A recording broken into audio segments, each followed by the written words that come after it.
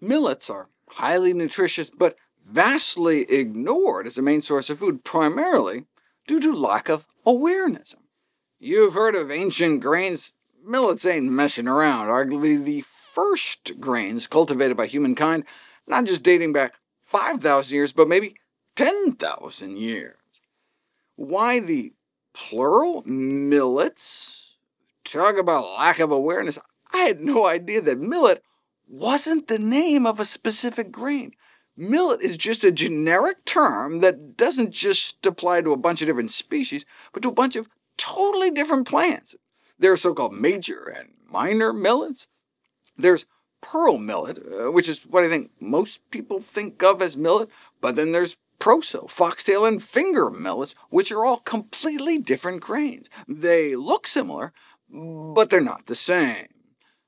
Fiber is one of the main things we're looking for in a whole grain, and kodo millet is like off the charts, but compared to other grains, finger and foxtail millet also beat out the bunch, though note that what most people think of as millet is really on the low side. But looking at the polyphenol content, even plain millet beats out the other grains, including sorghum, which I you know, previously hyped for its polyphenol content. But again, kodo millet seems to win the day. Total antioxidant-wise, though, kodo and finger millet are comparably high.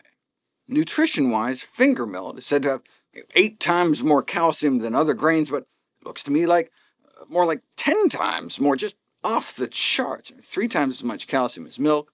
Uh, some of the millets are exceptionally high in iron as well. Regular millet is high, but barnyard millet has like five times more iron than steak. OK, so nutritious, but what about specific potential health benefits? In the medical literature, you'll read things like this. Millets may prevent cardiovascular disease by reducing triglycerides in hyperlipidemic rats. Who cares, other than perhaps pet owners, whether a food reduces cardiovascular disease in rodents? There was that epidemiological study in China that found lower esophageal cancer mortality rates in areas that ate more millet and sorghum compared to corn and wheat, but that may have been more due to avoiding a contaminating carcinogenic fungus than from benefit in the millet itself. Studies show millets may be effective against cancer cell proliferation in a petri dish, uh, with kodo and proso millet rapidly inhibiting cancer cell growth compared to pearl or foxtail millet, knocking down the growth of cancer cells but leaving normal cells alone, reducing the growth of colon cancer cells, as well as human breast cancer and human liver cancer cells, potentially also helping to prevent metastases by inhibiting cancer cell migration.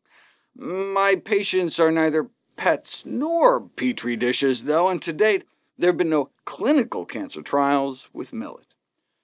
Are there any unique health-promoting attributes? Uh, finger millet is supposedly known for its health benefits, such as blood sugar lowering, cholesterol lowering, and anti-ulcer characteristics, but the anti-ulcer study they cite just noted that some of the areas with a low incidence of ulcers also happen to be eating millet, but that's far from establishing cause and effect. And the cholesterol-lowering study they cite, it explores what happens when you take tail tendons from rats and soak them in sugar and millet.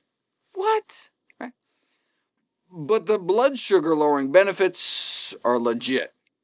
Apart from the fact that millets don't contain gluten, which is good for the 1 or 2% of people with celiac disease or non-celiac gluten sensitivity, millets can also be exploited in the management of type 2 diabetes due to their blood sugar-lowering properties, as reported by several studies on millets and millet-based foods in actual people, which we'll cover next.